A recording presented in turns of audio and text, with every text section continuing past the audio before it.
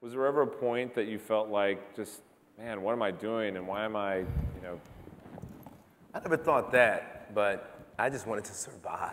Mm-hmm. I was, you know, it was, it was difficult to, you know, balance trying to have a vision for a dream and try to live a dream, and at the same time, you know, pay bills and you have the Broke stress from just, you know, regular mm. life stuff. He was on the bus, Randy. No, I mean, like, I went through it out here. Like, y'all don't even know. Shit was real for your boy. no, but I mean, like, you know, it's like when you have a dream and you and you love something. keep going, keep going. Oh, Yeah, go ahead. Take a break. No, keep going. No, I got this. I'm gonna give you the soundtrack. Oh, thanks, man. Hold on one second, guys.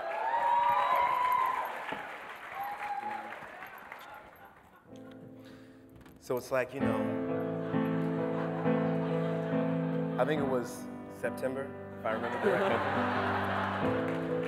and I was just wondering, you know, like, how am I gonna make it? How am I gonna get through? And, and I said, you know what, Philip? You know what?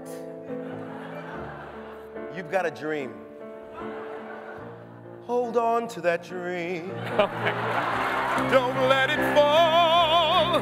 You can make it.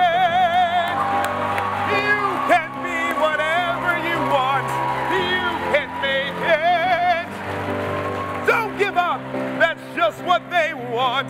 So write your little song. Play the game. And one day, one day, you'll have a Rolex watch.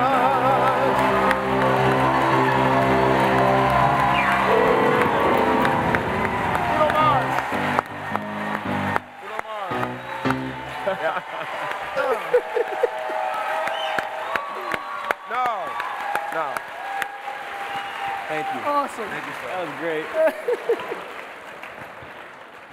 I, I mean, I really, I, there's, I don't know that we're going to be able to top that for the rest. And it's this is- all downhill from And this, this is, point this is pretty much what goes on in the studio. Yeah, A good 60% of the time. This is how we write songs.